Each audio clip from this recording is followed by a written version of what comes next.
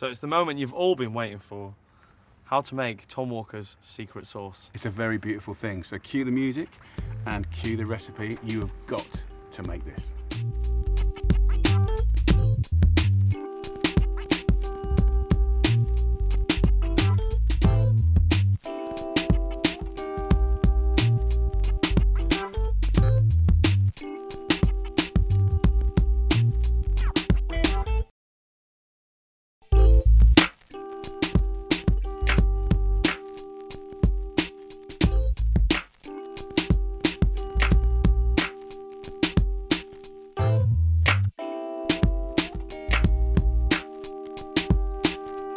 So there you go, guys. I hope you loved that recipe. And if you want to check out uh, Mr. Walker's album, then click the link.